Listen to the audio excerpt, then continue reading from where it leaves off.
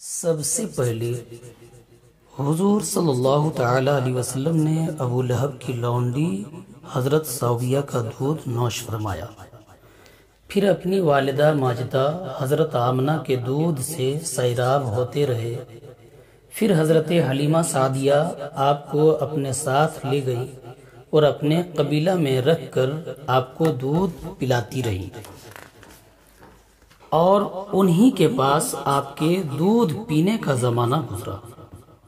शरफाए अरब की आदत थी कि वो अपने बच्चों को दूध पिलाने के लिए गिरदो नवाह देहातों में भेज देते थे।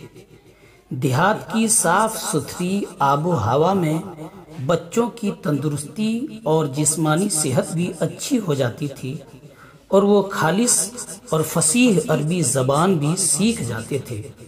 क्योंकि शहर की जबान बाहर के आदमियों के मेल जूल से खालिश और फसीह बलीग जबान नहीं रहा करती। हज़रत हलीमा रज़ी अल्लाह तहा का बयान है कि मैं बनी साद की औरतों के हमराह दूध पीने वाले बच्चों की तलाश में मक्का को चली। उस साल अरब में बहुत सख्त काल पड़ा हुआ था। मेरी गोद में एक बच्चा था, मगर फिक्रो फाका की वजह से मेरी छातियों में इतना दूध न था जो उसको काफ़ी हो सके। रात भर वो बच्चा भूख से तड़पता और रोता बिलबिलाता रहता था, और हम उसकी दिलजुई और दिलदारी के लिए तमाम रात बैठ कर गुजार देते थे। एक ऊँटनी भी हमारे पास थी, मगर उसके भी दूध न था मक्का मुकर्रमा के सफ़र में जिस खच्चर में सवार थी, वो भी इस कदर लागर था कि वो काफला वालों के साथ ना चल सकता था। मेरे हमराही भी इससे तंग आ चुके थे। बड़ी बड़ी मुश्किलों से ये सफ़र तय हुआ। जब ये काफला मक्का मुकर्रमा पहुँचा तो जो औरत रसूलुल्लाह सल्लल्लाहु अलैहि वसल्लम को देखती और ये सुनती कि ये यतीम हैं तो कोई औरत आपको लेने के लिए तैयार नहीं होती थी, क्योंकि बच्चे के यतीम होने के सबब से ज़्यादा इनाम इकराम मिलने की उम्मीद नहीं थी। इधर हज़रत हलीमा सादिया की किस्मत का सितारा सुरैया से ज़्यादा बुलंद और चाँद से ज़्यादा रोशन था। उनके दूध की कमी, उनके लिए रहमत की ज्यादती का बाइस बन गई क्योंकि दूध कम क्यों कर किसी ने उनको अपना बच्चा देना गवारा न किया? हज़रत हलीमा सादिया ने अपने शोहर से, अपने शोहर हारिस बिन अब्दुल उज्जा से कहा कि ये तो अच्छा नहीं मालूम होता कि मैं खाली हाथ वापस जाऊँ। इससे तो बेहतर ही यही है कि मैं इस यतीम ही को ले चलूँ। शोहर ने उसको मंजूर कर लिया और हज़रत हलीमा इस यतीम को लेकर आए, जिससे सिर्फ़ हज़रत हलीमा और हज़रत आमना ही के घर में नहीं, बल्कि कायनाते आलम के मशरको मगरिब में उजाला होने वाला था। ये खुदावंद कुद्दूस का फजल अजीम ही था कि हज़रत हलीमा की सोई हुई किस्मत बेदार हो गई। और सरवर कायनात सल्लल्लाहु अलैहि वसल्लम उनकी आगोश में आ गए। अपने खीमा में लाकर जब दूध पिलाने बैठी तो बारान रहमत की तरह बरकत नबूत का जहूर शुरू हो गया। खुदा की शान देखिए कि हज़रत हलीमा के मुबारक स्थान में इस कदर दूध उतरा कि रहमत दो आलम सल्लल्लाहु अलैहि वसल्लम ने भी और उनके रजाई भाई ने भी खूब शिकम शेर होकर दूध पिया और दोनों दोनों आराम से सो गए। इधर ऊंटनी को देखा तो उसके थन दूध से भर गए थे।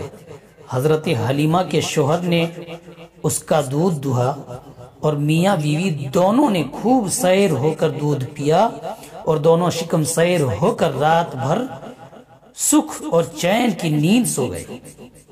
हज़रत हलीमा का शोहर, हुजूर रहमत आलम वसल्लम की ये बरकतें देखकर हैरान रह गया और कहने लगा कि हलीमा, तुम बड़ा ही मुबारक बच्चा लाई हो। हज़रत हलीमा ने कहा कि वाकई मुझे भी यही उम्मीद है कि ये नहायत ही बाबरकत बच्चा है और खुदा की रहमत बनकर हमको मिला है। और मुझे यही तो है कि अब हमारा घर खैर बरकत से भर जाएगा। हज़रत हलीमा फरमाती हैं कि उसके बाद हम रहमत दो आलम सल्लल्लाहु अलैहि वसल्लम की सल्लम को अपनी गोद में लेकर मक्का मुकर्रमा से अपने गाँव की तरफ़ रवाना हुए तो मेरा वही खच्चर अब इस कदर तेज चलने लगा कि किसी की सवारी उसकी गर्द को नहीं पहुँचती थी। काफला की औरतें हैरान होकर मुझसे कहने लगी कि, ए हलीमा, क्या ये वही खच्चर है जिस पर तुम सवार होकर आई थी? या कोई दूसरा तेज रफ्तार खच्चर तुमने खरीद लिया है? अलगर्ज, हम अपने घर पहुँचे, वहाँ सख्त कहत पड़ा हुआ था।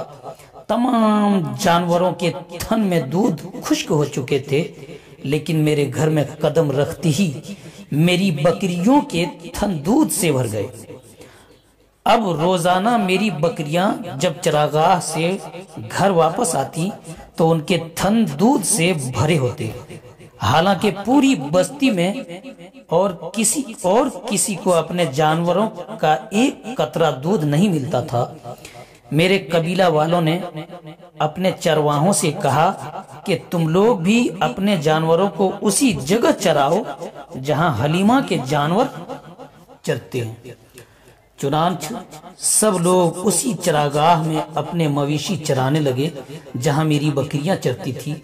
मगर यही तो चरागाह और जंगल का कोई अमल दखल ही नहीं था।